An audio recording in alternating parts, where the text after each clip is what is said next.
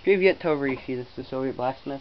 We're not at 20 subscribers yet, but I think we will be soon enough. So I'm preparing E-matches for the uh, hydrogen balloon launch.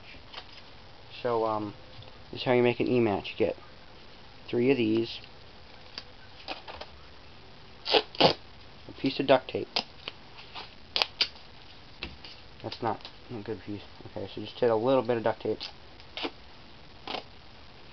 Uh, that much, which is kind of a lot actually. And all you do is stick your three matches on there like this. Sorry about no blacksmithing, it's way too hot today. And I'm too busy with a lot of stuff, so sorry I can't do it today. But I will soon. You stick these three on here, like that. And all you do is get a piece of wire mesh, or whatever this is. Replace a steel wool. Fine, uh, this is not fine steel wool, this is coarse just wrap it around the front like that. Okay, then we're going to take this and just wrap it. This is actually my second attempt at this. I made a video earlier, but it didn't work. So, um, yeah, I'm not doing that one. Shoot. It's not working.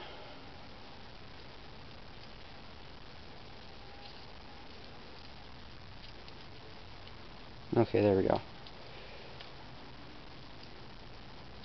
The duct tape actually keeps it burning. So that's pretty good. Just like that. I need to buy a new SD card for my camera. That's the other reason why I come blacksmith today. And now all you do is you're going to put this down on the ground looking like this. That's the igniter thing. Okay, yeah, there we go. Now um, I gotta get something to light. So what we're gonna do is take this piece of tissue paper. We're gonna pour some isopropyl alcohol on it, which is rubbing alcohol. Normal flammable. So then we're gonna go in the, the floor over here. Let's set that there.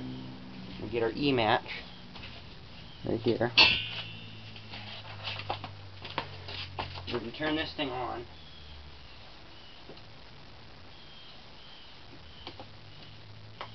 let's turn it off for a second. No, you're going to turn this on. Put that here, and this right here, and on top of the isopropyl alcohol. I'm going to press this, and and we don't have it working. I gotta actually redo something I forgot. So we're just gonna put this here, and then, right here. And then go. Yeah, there we go. Yeah, that's how the E-match is going to work. Now it's on fire. Now my floor's on fire.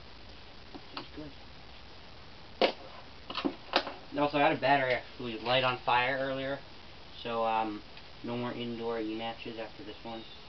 The battery actually caught on fire and started smoking. Anyway, that's going to be the end of this episode. Make sure to like, comment, subscribe. Please subscribe so we can get to 20 subscribers so I can launch the hydrogen balloon. The Soviet Blacksmith, Das Vidanya.